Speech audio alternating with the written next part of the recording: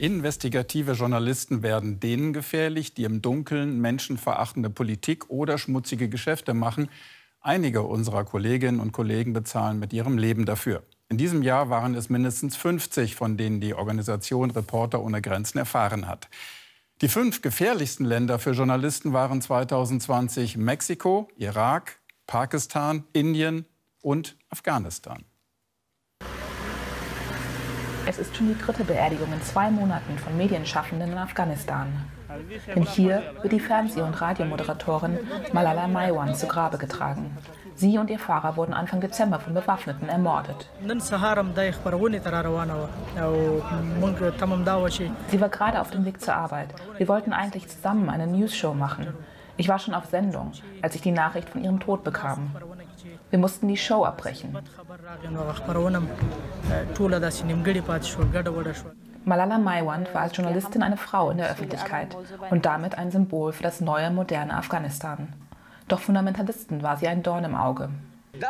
Ich habe zehn weitere Töchter wie Malala, die in ihre Fußstapfen treten würden. Aber ich will, dass ihre Mörder gefasst werden.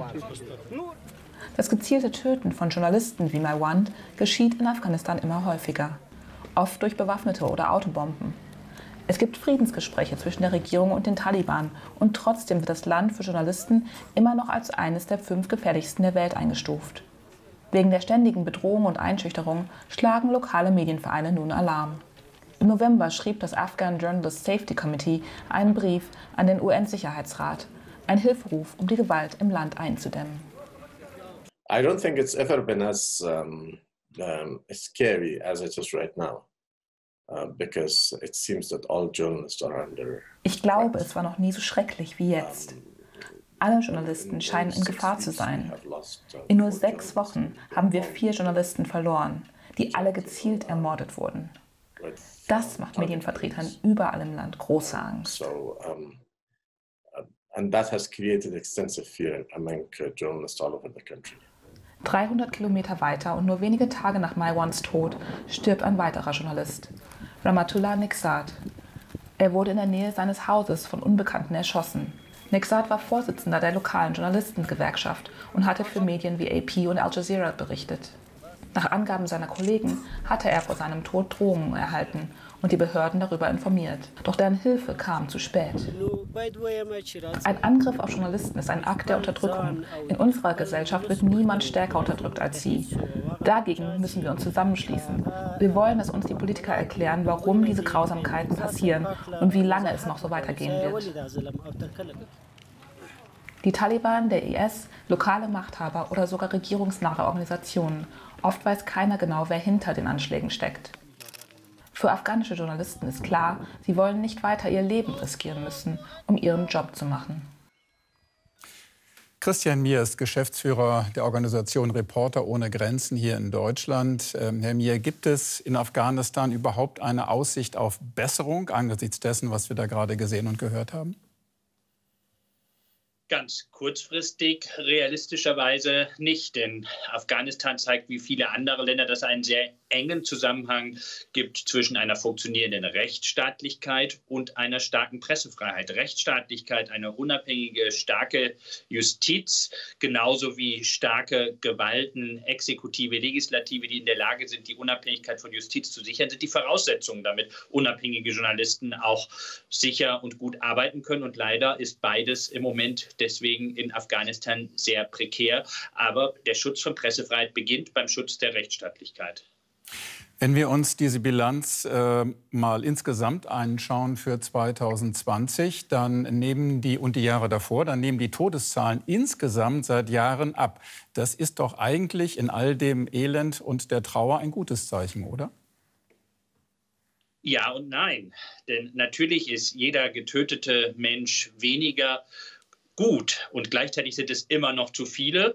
Ähm, und es gibt vor allen Dingen bedenkliche Entwicklungen dahinter. Denn wenn wir vor zehn Jahren uns die Zahlen angeschaut haben, wurden auch relativ gesehen, im Prozenten gesehen, die meisten Journalistinnen und Journalisten in Kriegsgebieten ähm, ermordet oder erschossen. Also sie sind mehr oder weniger zwischen, zwischen in Waffengefechten ähm, erschossen worden und wurden nicht immer gleich zielgerichtet ermordet. Während heute zwei Drittel der Journalisten oder oder sieben von zehn Journalisten, je nachdem, wie man das ausdrückt, werden heute gezielt ermordet. Das heißt, weil Machthaber, weil organisierte Kriminelle, korrupte Menschen gezielt ein Interesse haben, dass ein Journalist ermordet wird, weil ihnen eine Berichterstattung nicht gefällt. Und das ist, finde ich, keine gute Entwicklung. Mir ist ähm, ein Land, das, glaube ich, seit mehreren Jahren schon an der Spitze dieser makabren Todesliste für Journalisten steht, besonders ähm, rätselhaft. Mexiko. Mexiko ist eine Demokratie, ist fest in die westliche Welt eingebunden und trotzdem ähm, das gefährlichste oder eines der gefährlichsten Länder für Journalisten. Wie geht das beides zusammen?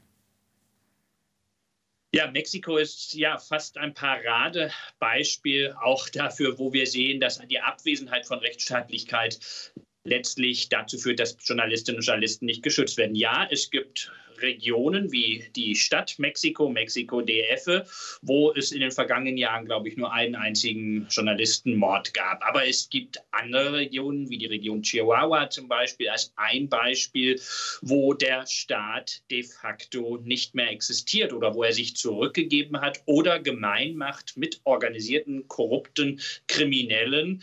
Ähm, und was im Ergebnis dazu führt, dass Justiz nicht unabhängig ermittelt, dass Sicherheitsbehörden wie Polizei auch geschwächt sind oder eben auch korrupt sind. Und ähm, deswegen sehen wir da ganz, ganz wieder. Christian Mier, vielen Dank für das Interview und auch für Ihre ganz, ganz wichtige Arbeit. Danke.